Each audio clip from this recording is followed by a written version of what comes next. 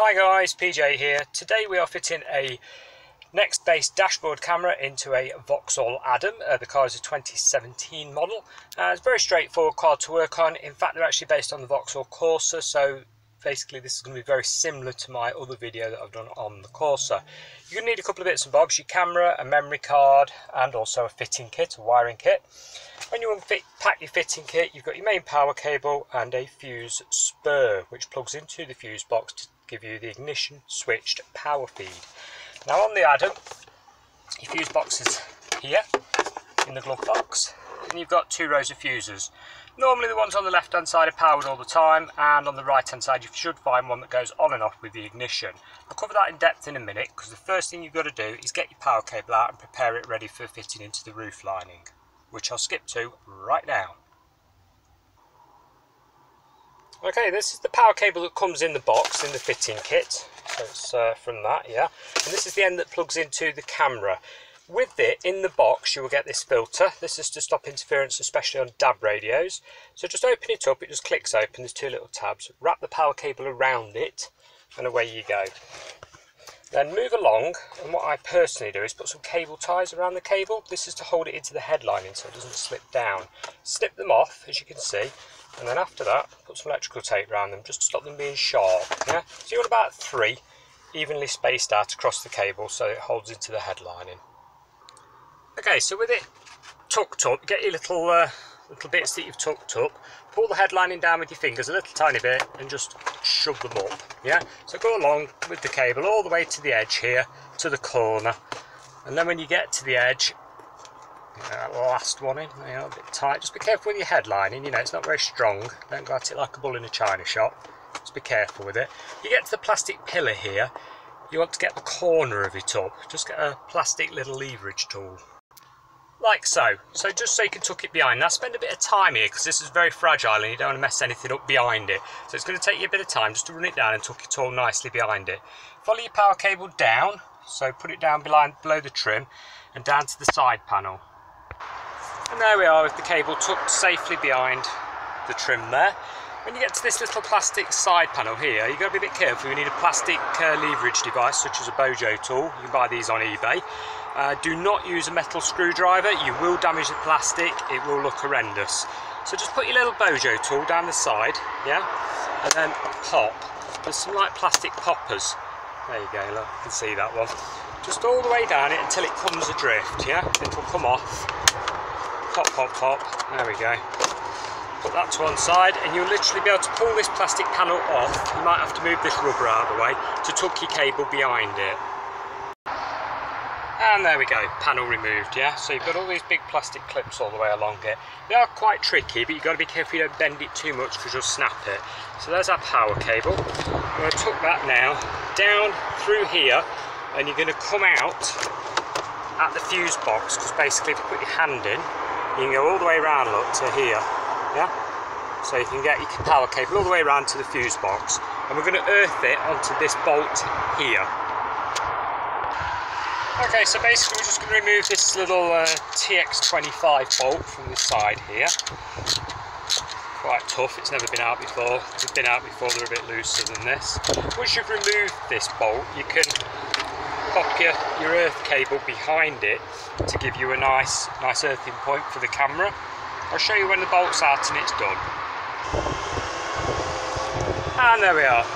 Bolt undone, earthing point put behind it and put back in again. Now although it's holding a plastic bracket in place there is metal behind it. At this point, go ahead and tidy up some of your excess cabling, yeah? You want it nice and tidy, nice and neat, so nothing gets trapped or you know, crimped in when you shove everything back together. Tidiness will save you a lot of future problems, okay? So it may seem a bit pedantic, but believe me, it's not. If You don't want a trap wire for it to short out on or anything like that. And at the end of the day, if you're not sure about doing this type of job or you're worried about damaging your car, it is worth taking it to a large professional company because they're insured. So if they do break your car, it'll just get repaired. If you break your car personally, you've got to pay for it to be repaired. Just bear that one in mind, yeah? Okay, moving across now to the power. We've got our power cable coming out of the uh, side that we threaded it through here. And we're going to test to see which fuse is ignition switched. To do that, you're either going to need a multimeter, such as this, my dilapidated old one there, or one of those little test screwdrivers with a little uh, bulb in the end of them where you, you press, press on the circuit and it lights up. Now, the first thing to do is keep your ignition off, yeah, and get your multimeter or your test screwdriver. Okay, so we'll go ahead and test some of the fuses. Now, on this particular car, like I say, there's not many that aren't going to be ignition switched. So if we test this one, for example, the voltage there is at 12 volts, so that's live all the time with the ignition off. That circuit is no good. You need your camera to go off when you take your key out. Likewise, if you move across to any of the other ones, they are all 12 volts. However, on this particular model, now bear in mind I've done a lot of these cars, if you go all the way up to the centre, to the 10 amp fuse, you see it right at the top there in the middle, 12 volt, and another one, there you go. Zero voltage, that is perfectly good for using for the camera. The camera will go off when you turn the ignition off because that circuit only comes live when the key is in. So now what we'll do is turn the ignition on and check it again. And there we go, 12 volts. And that is, on this particular Adam, this right hand fuse here at the top, okay? Now bear in mind, depending on the model, year and spec of the Adam, the fuse box layout will or could be different. You are going to have to check the fuses to make sure. Don't just grab that fuse and assume it's switched because this video shows it. Uh, it may well not be, okay? So you just double check it before you do anything. Right, now you've ascertained that that switch is live with the ignition, go ahead and turn your ignition off and get the little adapter that comes in the box, the little fuse spur, yeah? There we go. Now the fuse that's already in there runs your camera and the fuse that we've just tested in the fuse box is going to be pulled out and put next to it in this slot. Okay, it just bullet connects on, look, it just shoves together. So go ahead and remove your ignition switched fuse. It can be quite fiddly. Just pull them straight out, there we go. And put that fuse into this adapter. Now remember where you got the fuse from, you don't want to plug it back into a slot that uh, it didn't come from sort of thing, otherwise all your electrics won't work on your car. So push that in, quite stubborn. There we go.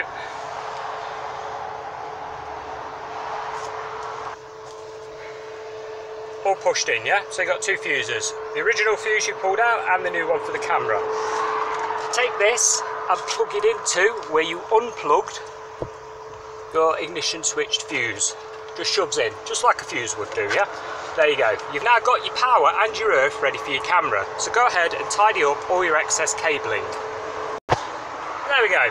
All cabling tidied up. We've cable tied it and uh, basically tucked it nicely away and cable tied it to some of the framework inside so it doesn't rattle around or fall down into the footwell. So like I say, tidiness is the key to a decent job, okay? At this point, you can go ahead and put your fuse box cover back on. And before you put any more bracketry together, test it. So plug your camera in, yeah, and give it a test before you put this side panel back on. Right, so we've put a camera on the window there with the sucker that comes with it and we've plugged our little power cable into the side. Go ahead and put your ignition on and what you're hoping for is that your camera switches on.